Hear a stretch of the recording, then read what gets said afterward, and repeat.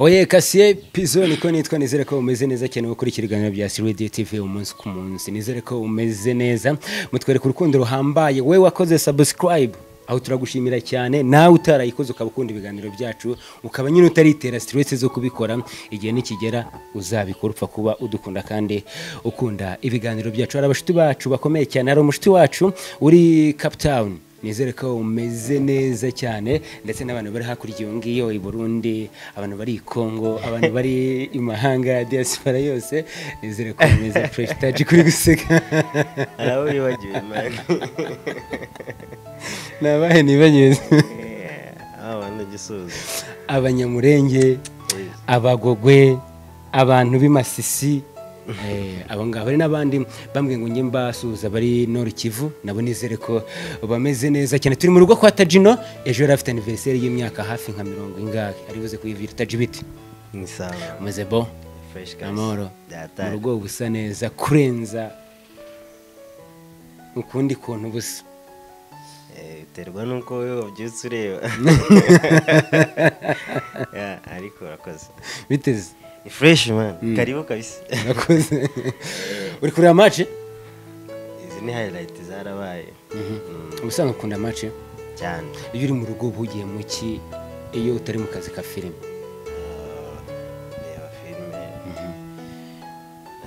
make ngakora amasuku mu rugo turimo tw'amaboko. Nta kintu cyo gutekana mbizi iyo imana izi guteka byatari rega natwo ni uturimo two mu rugo. Mm. niki kigutera gutera guteka? Ntacyo iyo nshonje ngenda ateka nta na kimwe? Nta wundi muntu nabonye hano uribana? Yamana grand frere wanjye. Ubona na grand frere nabonye n'ifoto nziza mu nzu yawe ngitunguka mu muryango reka mbare iyo mpera iriya foto ni yande Ya mama. Ese kwivuga gahoro. Ya mama. Kubyongorera. Uzi ko ntari kubyumva. Niyo umubyeyi wanjye. Niyo umubyeyi wawe agira ibihe byiza cyane mama wawe. Aniveriseri yari imeze ite ku musoje byari ibisanzwe ari umunsi w'iyindi Eh, niki kidasanzwe cyawubayemo ntacyo. Lockdown nyine. Nanabyutse nisanga ndi kumwe nyine na grand frere nyine duciringa turi babiri kandi n'ubundi niko dusanzwe tubikora rero. Nta bidasanzwe byabaye. Akantu ntabwo kanywewe agake akantu. Akantu kahe? Akantu nyine kenshi akabyeri. Eh, eh, twanywe iyi ni isigaye turi kunywa fanta citro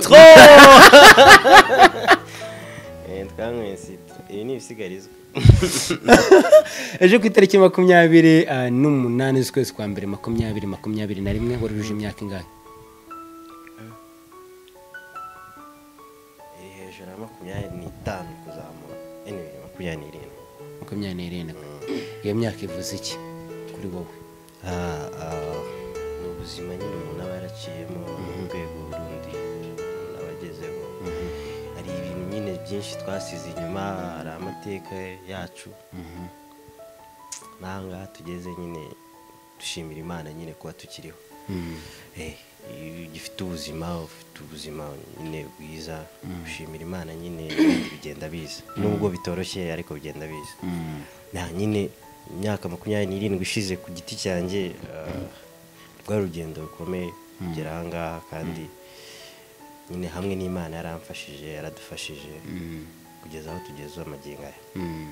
Niki wishimira wagezeho kirenze ibindi muri iyo myaka makumyabiri n'irindwi?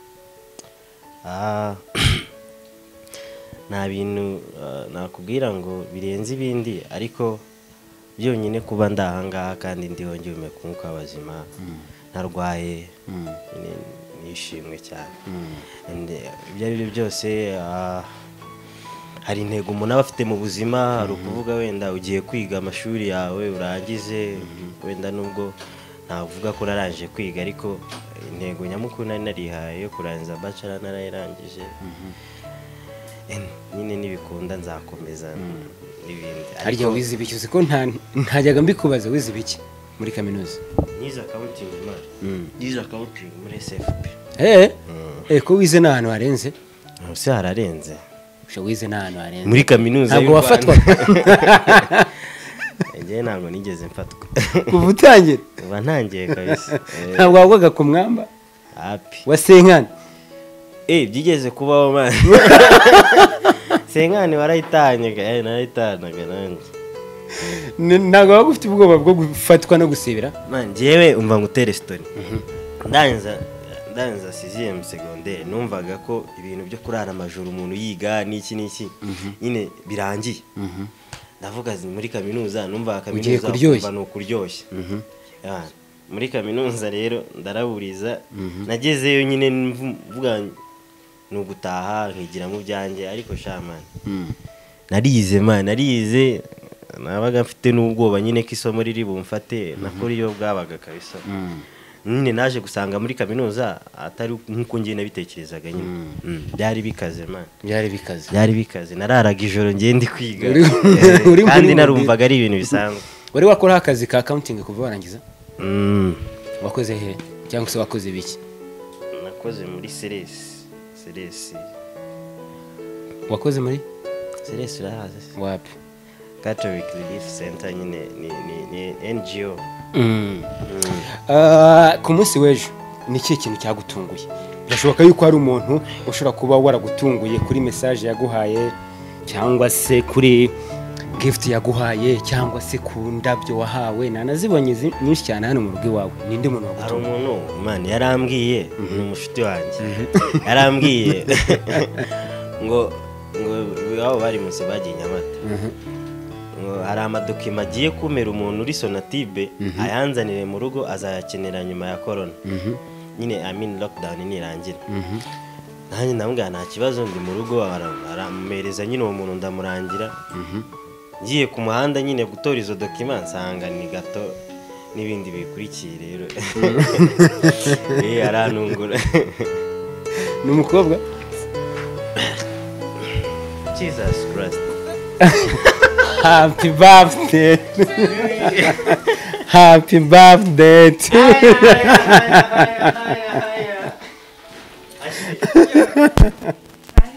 Thank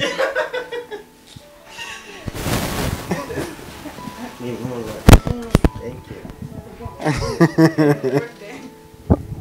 Thank you. wari kiri kumbwira ku bijyanye na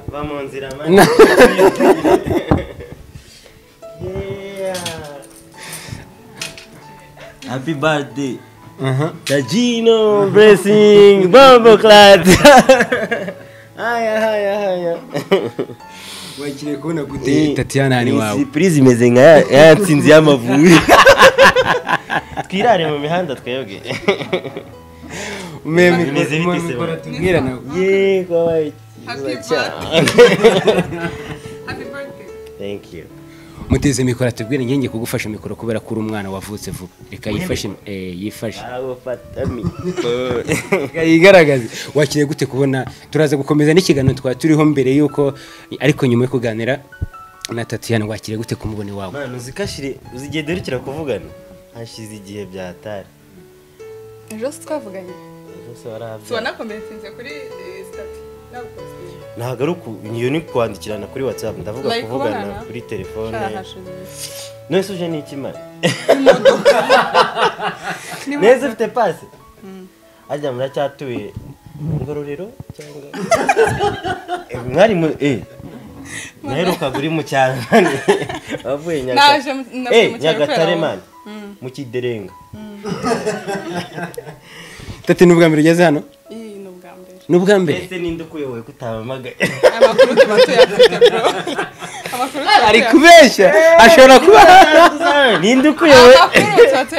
Aze vugisha kuri mani Tate- Tajina niwe muntu nzi utajya ubeshya. Ashobora kuba wari usanzwe uza hano hantu. ni ukuri kw'imana. Kuva yise We yaje iwacu ariko ntabwo ndaza hano. Taji wakiriye gute kumubona iwawe cyane sawa byatatse cyane uratase cyangwa urarara? Biraterwa. Ni karibu cyane karibu sana. Ninde wundi mukinnyi wo mu nzozi wagu- waguhaye se Wabaye mwiza biri seriyewe Nawe- utari kumva ibindi bintu ndi kukubaza uri kwirebera ubwiza bw'umukobwa. We naba wiza minsi urasa neza cyakoze cyane. Ni Tatiana bakaba bakinana na Tajino akaba yifuje kumuzanira keke isa neza. Byanditseho ngo happy birthday tajino blessings ashyiraho umutima. Kube- kubera iki? Umutima usobanuye urukundo ya. Uramukunda? Cyane? Cyane. Kubera? Ibyo birahagije mani bijya kure bijya kure njye cyakoze iki? Nshatse nanakwiryamira ngasinzira ubundi ibyo birahagije. muri komenti zo kuri filime inzozi baba bavuga eh umuturanyi wa tati kandi ngiye mbona no mu buzima busanzwe bakundana cyangwa se banakundanye byaba bijyanye. Funsi funsi gospel. Niwe mfunsi ni we mfunsi w'aka avuga thank you. Uryoherwe tati Mm. none se tati uvuye he mugani wawe wa tajino mvuye kure cyane nk'uko abikubwiye. Eh, ni umukinnyi wa kanga ukoreye cyangwa se wifuje gukorera aniveriseri ni mu nzozi ni uwa mbere. Mm. taji ubyakiriye gute? Yakiriye neza nyine ni sawa tu. Tati irakoze ku bantu batekereza yuko muramutse mukundanye mwaba munaberanya nk'uko muri abaturanyi mu nzozi bajya bibona bikatakata ku ruhande. Ubona urukundo rwawe na tatiyana rwaba rumeze rute? Gute? Byaba ari samari gute nyine byatari gute? Byaba bihebuje. Byaba ari byiza mani gute nyine? Nyine z'abantu iyo bakundana n'aba ari sawa. Babandi se ukunda abandi bandi bajya hejuru ahubwo numvishe ugenda uvuga ngo ngo ngo ngo ngo ngo ngakunda ngo sayizi. Nari ngiye kuguta none igitutsi narakubeshyeye. We ngewe iyo ugiye kuvuga ngo ngo abakobwa njye nigeze nkubwira bwuzanye mani ziriya gunda zizi nizo sawe kandi tuziziranye eee! Bishyire ku karubanda bivuge Mbivuge? bivu- Bashyireho ifoto se? Lata mwereke ifoto mwereke ifoto uyi- uyishyire gutya tuzane mushyire ku karubanda. Tajino tumushyire ku karubanda. Mwarambyaye se tajino aramutse abyutse mu gitondo. Murakinana Nibi- ibintu ugiye kumva simbizi ariko ntabwo yabirota. Waretse nkibariza ikibazo cyanjye. Ibi ngibi biragaragaza ko yanabirota yabirota taji tete yanakubwiye ko gukunda wabyemera cyane. Mugakundana. Mbese mwiterete? Mwiterete iwanjye ni ukuvuga gutereta ukabira icyuya. Izi biroroshye mani nywa ka fantamani birashya tajino aramutse agusabye ko mukundana. Umubere girlfriend. Wabyemera? Wapi ntabwo ari ibihuha mbi ya ya ya ya ya kubera icyo utabyemera nuko bita aba girlfriend afite umuba w'aba girlfriends afite umubare. Ari kuri market. Ako cyakora cyo mbabwira Tatiana, wihaye umwuga wo kumparabika urumva? Ugenda nawe eh, eh, ibyo ngibyo tubyihorere simbajije ikibazo kimwe. Utinye ko nawe yakuvuga. Mbajije ikibazo kimwe cyonyine. Oya. Tajino yambwiye ngo utaraza mu kiganiro ejo yarijuje imyaka makumyabiri n'irindwi.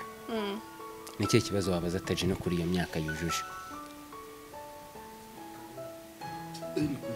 What is your wish? My wish.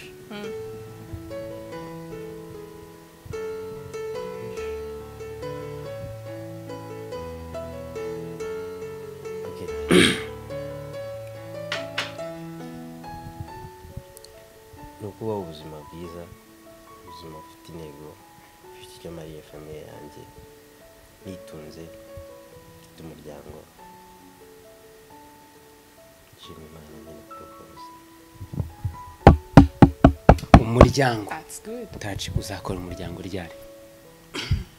Uzakora umuryango ryari? Kongera ntiwari wumvise wawukora gute? Mama ugiye umenya ikinyarwanda man. Teki, uzakora umuryango ryari come on. Bro. Reka nsubiremo ikibazo. Uzazana umugore ryari? Avuga ngo taji uzashaka umugore byari subiramo taji umeze neza? Cyane. Uzashaka umugore ryari? Yavukanye amahane. Nicyo mbashije kubona pe. Eee nzashaka umugore nimubona.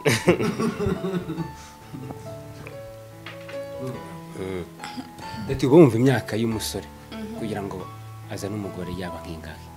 Ntabwo numva yuko yaba ari imyaka kuko kuzana umugore biterwa ahubwo ko wamubonye kuri tayari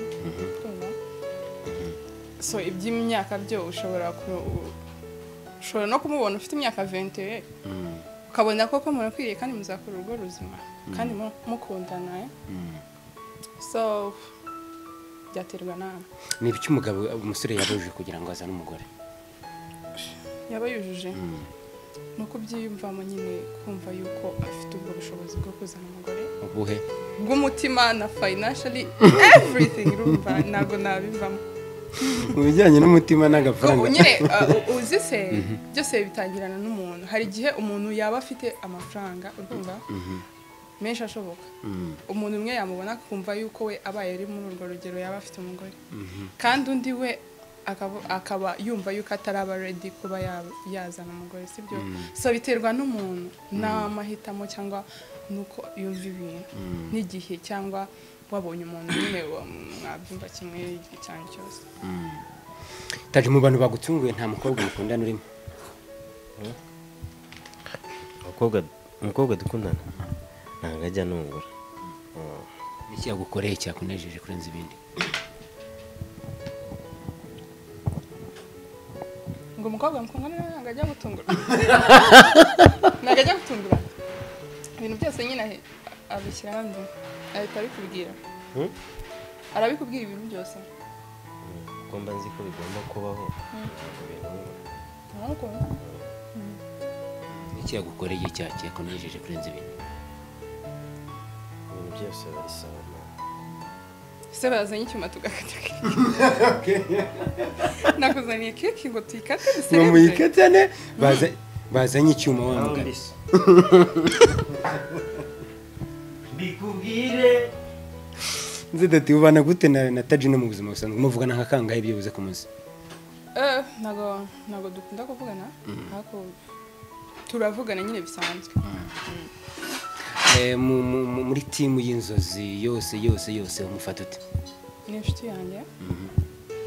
Ubona bibaye ngombwa yuko hari inama wamugira wamugiriye inama.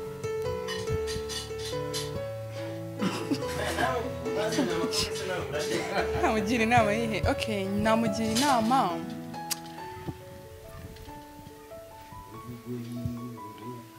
Ese ko wiharaje kuririmba we? Usanzwe uri umukorari bavuga umukolisite ntabwo bavuga koralisite okay merci. Mwaje tugiye taje urumva nakugira iyihe nama mu buzima. Anyway umbona gute inama nakugira basi wayemera uravugisha ukuri ubwo nawe namugira. Nayikugira urugero?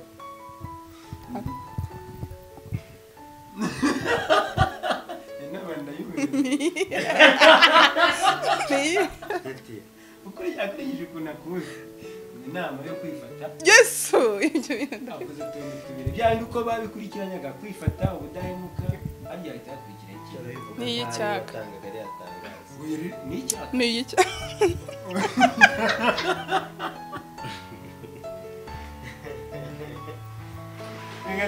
bigatuma iyo nama wayumvise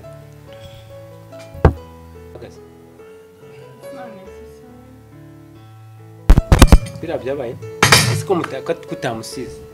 Asiga iki ibyo byararangiye byabaye. Ese ufite imyaka makumyabiri n'irindwi. ariko taje siko wavutse ngewe ndi kurangiza ndi niga nko mu wa mbere segonderi warize? Jesus. Taje ujya gutekereza ko kuri aniveriseri y'imyaka makumyabiri n'irindwi uzaba uri umukinnyi mwiza wa sinema hano mu rwanda?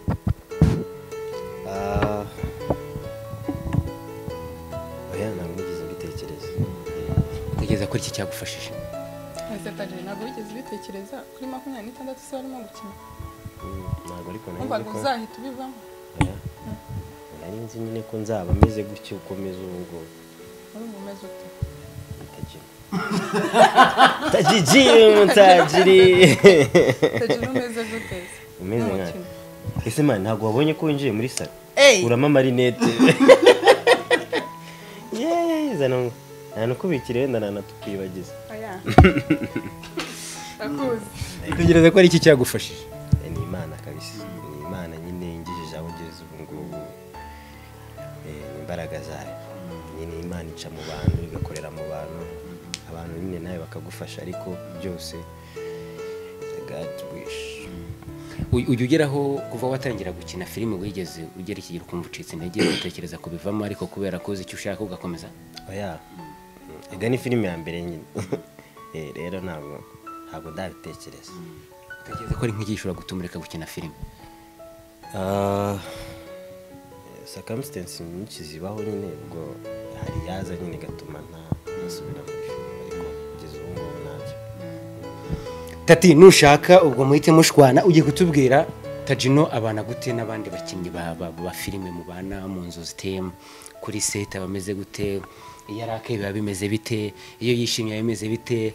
Arakazwa n'ubusa ashimishwa n'ubusa biba bimeze bite? Donc ugiye ku- kumutubwira nk'abantu baba batari kumwe nawe umunsi ku munsi. Mm. ko ndi butume yirata? Anyway nagiye kubeshya cyangwa ngo nshyiremo igikabyo Tajino kuri set aba ari umwana mwiza byatari. Ah, akina neza cya mbere Ah, ah, abana neza n'abandi ntabwo ushobora kumubwira ati nzanira iki ngiki? Nubwo namubwira ati ngwino unzanire iyi garasi arayiguha kumva. Mbese afite umuco. Ni umwana mwiza nubwo agiye kwirata turabyihanganira ariko ngo yice amasaha. Oya! Ntabwo yica amasaha yo kwica yaharara. Yaharara. Eh, reka abantu bakuvuge.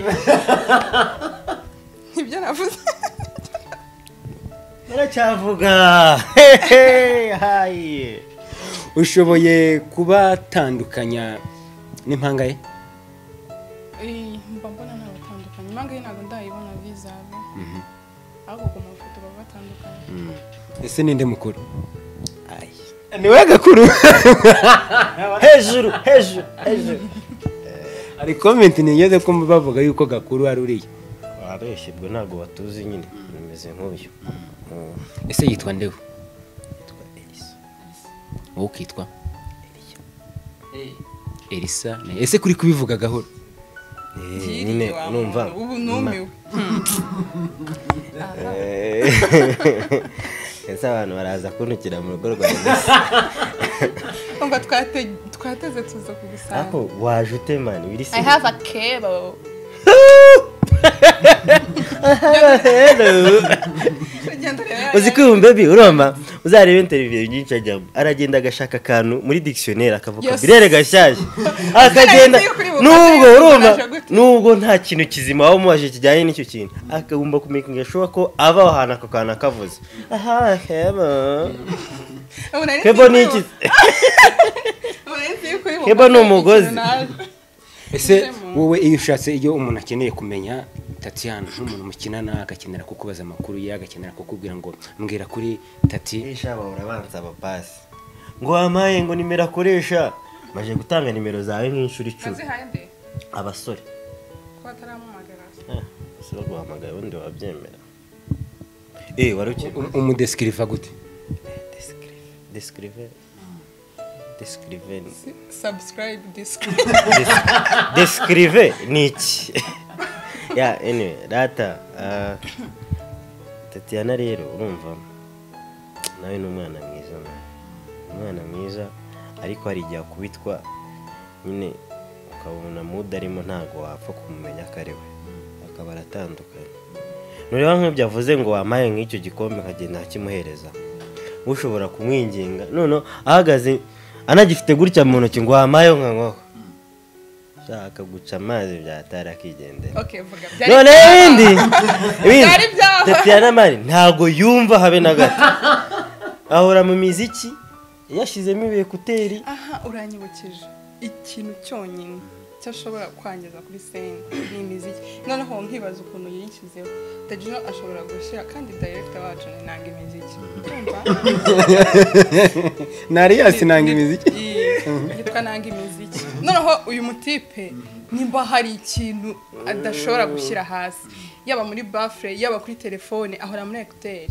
Nicyo njye ntabwo ari ikibazo cyanjye ni ikibazo cya director n'iki n'iki hanyuma taje reka tugaruke inyuma gato cyane. Eh, aniveriseri yawe. Ikuryohera iri kumwe n'inshuti zawe cyangwa ikuryohera iri kumwe na famiye bose aniveriseri y'uyu mwaka itandukanye n'izindi aniveriseri zabayeho. Njyewe ntabwo nkunda gufata aniveriseri iyo ndi kumwe n'impanga yanjye nyine aba ari sawa kandi muri iyi minsi ntabwo turi kumwe. Rero ntabwo nyine ntabwo ntabwo biba biri sawa nyine. Nta cyuma afite gufetera nawe ntacyo afite gufetera. Isi birakubabaje kubera mutari muri kumwe. Uzi ko isi wino eh ntabwo ari sawa cyane. Mm. Eh, bya bihe by'impanga tumenyereye. Donc ugasanga mu ishuri umwe akora ikizamu undi abakobwa ntabwo babasha kubatandukanya. Dusangize ku buzima bwawe n'impanga. Ubuzima bwanjye n'impanga mani. Bwari sawa eh ni ibiki wibuka bikagusetsa hagati yawe n'impanga umunsi tuzaba turi kumwe tuzabikubwira. Reka ndeke kubivuga njyenyine. Iyo wicara ukumva uramukumbuye? Byaratare n'ubu ndamukumbuye. Icyo uba ukumbuye cyane kurenza ndamukumbuye mani muri seriye I miss him. Ntabwo birangira mugakunda umukobwa umwe. Aho? Aho ntabwo biragera ariko umukobwa akunda nanjye nyine mbamukunda kuko nyine aba ari umuryango. Hanyuma tati uyu munsi we muri sinema bihagaze bite?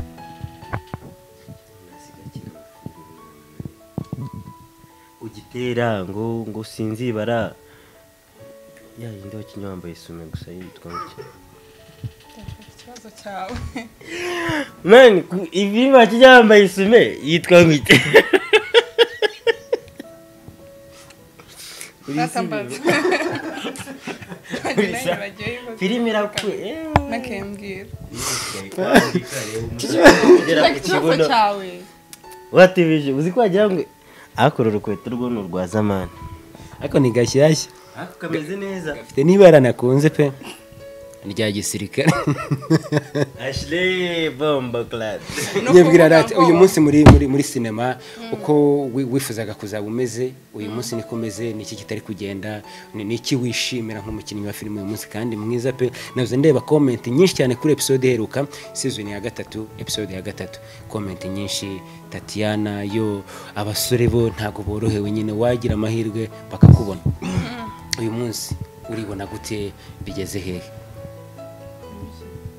Donc kariyeri yawe nyine ntagahari imbere y'imana ntagahari nyine ntabwo nzi uburyo uri kumbaza ikibazo ntabwo he? ikiba kibazo ndi kucyumvisha kariyeri yanjye uyu- neza okay kariyeri come on. Yeah, come on. uratwika data reka mubwire kariyeri imeze neza ndimo kwishimira urukundo abantu barimo kungaragariza ndabukubita mani wikwirya noneho sibyo ntabwo ndi kwirya that's me. Ntabwo nkubagana. Utagira niba nkubaganisha mu buzima. Rwose nigeze mbaho reka nyine nishimiye urukundo abantu bose barimo kungaragariza ni iby'agaciro. Uyu munsi imbogamizi kuva watangira ni izihe mbogamizi uri guhura na zo. kuko abantu bagukunda ntazo ndumva na zo. Mm. komenti z'abantu kuko umuntu agira komenti mu bice bibiri ziri positive n'iziri negative. Iziri negative zikubwira iki? Niki niki zikwegeje izi negative ziba ziri part of nuza script nyine. Kuko ntabwo bakina ibintu byiza bishimisha abantu bose. So izi negative na zo ni nziza. Ku rundi ruhande. Mm. wibuka nka komenti bigeze kugwika kubabaza? Eh eh nta ntayo muri movie Mm. oya ntayo Mm. ni ryari wigeze kubabara kubera ibintu wabwiwe n'abantu? Kubera ibintu cyangwa njye nakoze. Oya kubera ibintu wabwiwe n'abantu. Oya ibyo mba nabikoze nyine abantu bakabimbwira ariko njye baba babikoze ni ibiki ibyo ngibyo? Tubireke.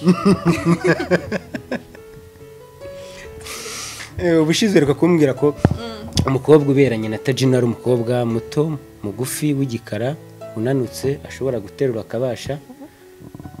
Taji uwo ni we mukobwa w'inzozi zawe. urukundo rw'urukundo jehova shalom happy man tatiana wabeshye yari ari gutwika. Umukobwa w'inzozi zawe kuri wowe ni wowe mumeze gute? Niwujuje iki?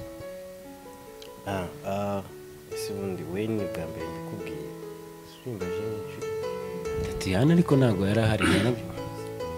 Ni umukobwa nyine tuzahura tugahura kera twaganira nyine numva bisa afite umutima mwiza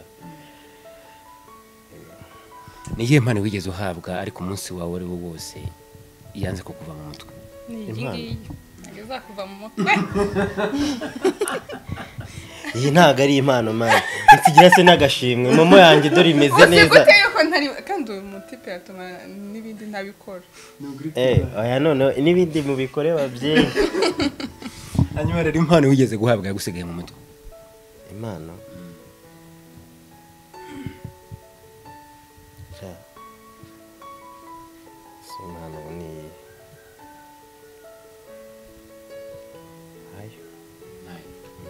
Zose bagoye ni impano zisanzwe. Ntabwo bakunda kuba imana mani ntabwo abantu bagikunda kuremerana. Banyarwanda banyarwanda mundemere! Ubona bibaye ngombwa yuko uhindura itariki wavutseho washyira ku iyo tariki? Ya mbere z'ukwa mbere. Kubera iki? Wayi- washyira kuri bona ntabwo byazajya bigorana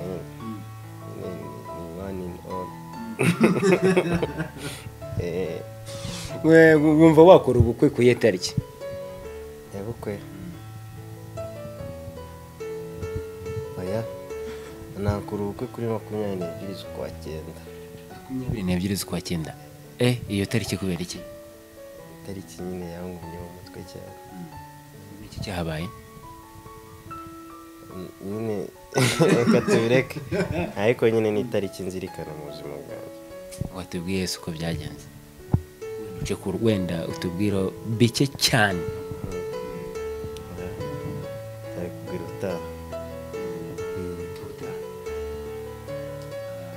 ikintu cyakubabaje? Cyane. Urahababariye kuri iyo tariki pole sana gusa ubutaha uzakimbwira ko hapi nakubeshye Mm. turi kugenda tugana no ku musozi utati hagize umuntu ukwitabaza ngo umugire inama nawe arashaka kugana muri filime. Birashoboka ko mu gihe umaze hari byinshi wigiyemo hari na byinshi wabonyemo. Umwana w'umukobwa wamuhiye inama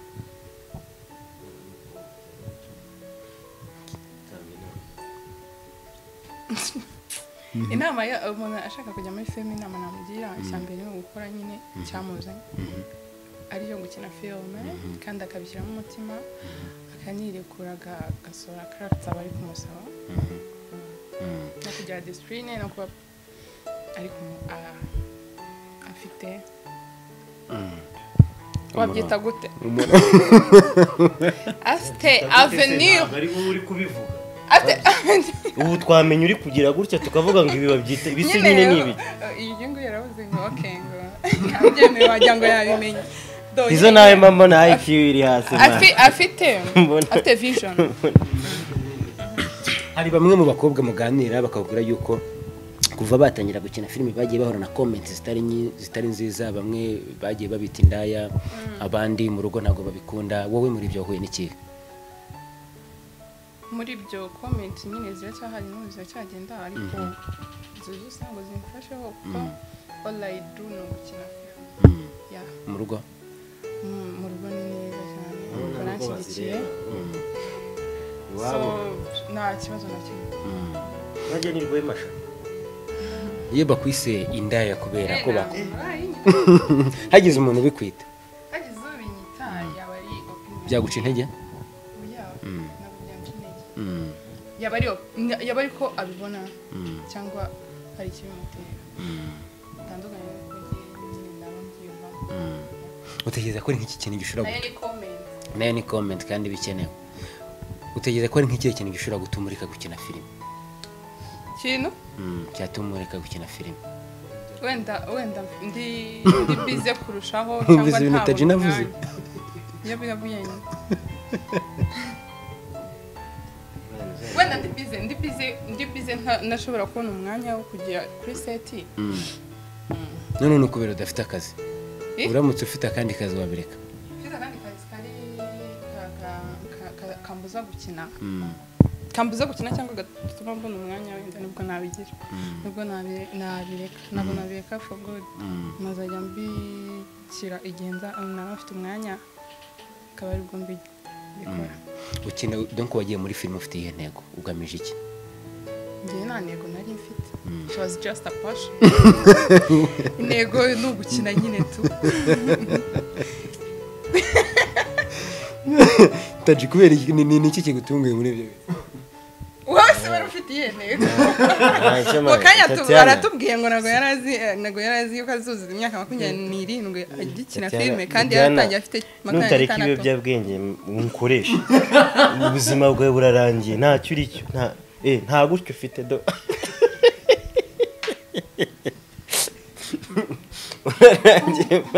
Ngo nta ntego yagiye ngo just gukina gusa njyewe reka nkubwire ata icya mbere nawe wikundaga icyo kandi kirabaye nawe nu- nawe nubwo kibaye Mhm, kirabaye cyane. kirabaye cyane.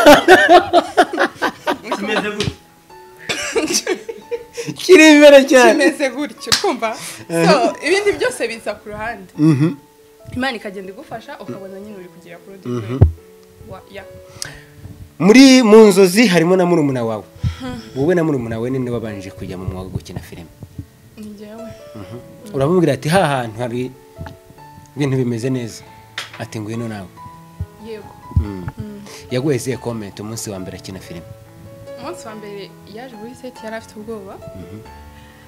Afite ubwoba pe ambwira ati "Zubu, ndaza kuza biraza kuba bimeze gute? Namubwira itsoke wowe. Yiyumvemo yuko uje gukina. Nta kindi. Kuko abikunda none. nk'uko nanjye nanjye nanjye ni ni byo nkarata nkubwire noneho we we yabikundaga noneho no kurusha ukuntu njye mbikunda. Noneho akumva yuko we azakina igihe ngo muvi zaba nyine z'inyarwanda ngo zabaye ku rundi rwego n'iki n'iki. Noneho njyewe nkamwumvisha se wowe uzakina uzabageze ku rundi rwego? Ryari? Twumva. Tangira ubu ngubu urebe nimba unanabishoboye muri izi ngizi wenda zitaragera ku rwego rurenze mu kubyiyumvisha so ni muri ubwo buryo namubwiye ati ngo ngwino nubona utabishoboye cyangwa nubona bitari kuza neza tubireka icyantunguye yahise nyine ahita abimenyera muri ako kanya. Ntabwo byamugoye umunsi wa mbere yaje uwa kabiri yahita akina. Uwa mbere umunsi wa mbere nyine yaje kugira ngo barebe nimba macingana nuza. Na Script, bamuhaye so bahita babona ara- bira- birajyana. Basanga koko ab- akwiye kuba umusheri wa marvin. Uramutse murumuna wawe cyangwa se umuvandimwe wawe afite isheri umeze nka marvin ukunda abakobwa benshi nk'uko bimeze muri filime kandi murumuna wawe akaba aramukunda nk'uko n'ubundi amukunda. Wamumurekera ntamumureke sinamukuraho. Wamugiriye inama? Nta bya bintu? bose banza bameze nka Marvin oya. Banza ntabwo mbizi. Wowe urumva umeze gute? Niba warababajwe mu rukundo. None si utangiye noneho. Mbere yabivuze ni- ese kuki uri kwinjiza ngo abahungu bose. ko ashobora kuba ari ugutera ibuye ahantu. Bigahita ari nka Marvin. Niba Marvin yarakubabaje no mu buzima busanzwe bakaba baragukosoye. Erega buriya ni ubuzima busanzwe. Ubuzima buhita bugenda ngo bihita bumera ngo so reka nkubwire hata reka nkubwize ukuri. Icya mbere ubundi ni urukundo. Mm, no kumvikana. Ushobora gukominiketinga kuko umuntu ni umuntu kagira ino yakubwira. Hari amakuru afite? Hari amakuru afite kandi noneho we abivuga from experience.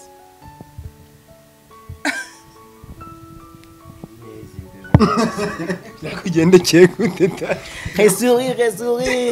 Ntabyo mani tatiana se si umuntu aratwitse nyine ndi kugutwikira twicaranye kurumikiraho sha. Hanyuma turi kugenda tugana no ku muzozi ufite mu murumuna wawe w'umukobwa afite abantu babiri bakundana umwe amukundira amafaranga undi aramukunda bya nyabyo akagusaba inama cyangwa se ukabimenya atanakugishije inama. Wamubwira iki? Akangisha inama? Uwo? Oya urabimenye nyine. Afite abantu babiri umwe amukunda kubera amafaranga. Mm. kuko ijya mbere umuntu yigira inama ahubwo aba ashaka kukuruhukira Mm. Gute. Ntabwo ku- kuruhukiraho intentionally. Ndazigisha ariko biba byandemereye. Ariko kuba byandemereye ntabwo bikwiyeho yuko nzi icyo ndi bukore. Mm. cyangwa ntabwo bikureho yuko after all ndi buze guhita mpitamo kimwe cyo ndi bukore. Kuko nshobora no kukugira inama ngo ukora kino ukumva ntabwo biri birimo kuza. So ugakoresha iki? Ibyawe wiyumvamo. Ntabwo ari bibi kujya inama ariko. Ubundi umuntu ni wowe wigira inama mu mutima wawe ukabona which is best. Akaba ari cyo uhitamo taji wamuzaniye keke murebe ugire amagambo mugenera n'ubundi kuri aniveriseri ye tujye tunagana ku musozo. Ahite nawe agushimira. Ba! I'm gonna be serious for a while. Tajino, happy birthday. Happy birthday. Alright. kimwe happy birthday. Nubwo yabaye ejo but ndumva nyine ukiri uruhinja so have a wonderful birthday. Gracefully. Imana iguha amafaranga imana iguhindura umusitari my bro. Wiseka wiseka am- ndiseriye Eh, um, ndiseriye ndiseriye, ukumva mm. imana igu- iguhe kuba umusitari kandi uzongere ku ntego zawe zo gushimisha umuryango wawe abavandimwe n'inshuti. Mm, ugire ibyishimo mu mutima wawe ndetse na fizikali so happy birthday. Ikiwe wabwira tatiyana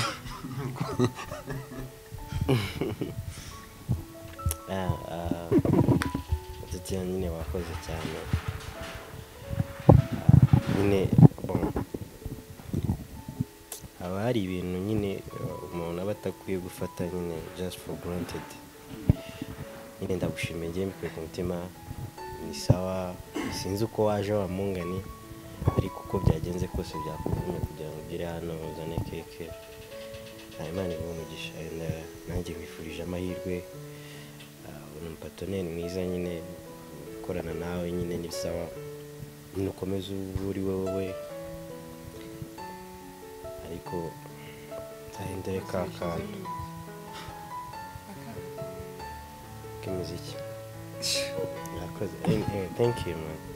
Aho kwivuga ko guseka kuko mbona ari cyo kintu nkora cyane yazereka rero mushimire cyane tatiyana kwemera kuza gutungura no kwifatanya na tajino ku munsi we w'amavuko nshimire na tajino wemeye kutwakira mu rugo. Reka nizere ko namwe mwaryohewe kandi mukomeze kumwifuriza kuzagira nyine imyaka myinshi kugira ngo azakine n'amafilime menshi. Njye nitwa kasiye pizo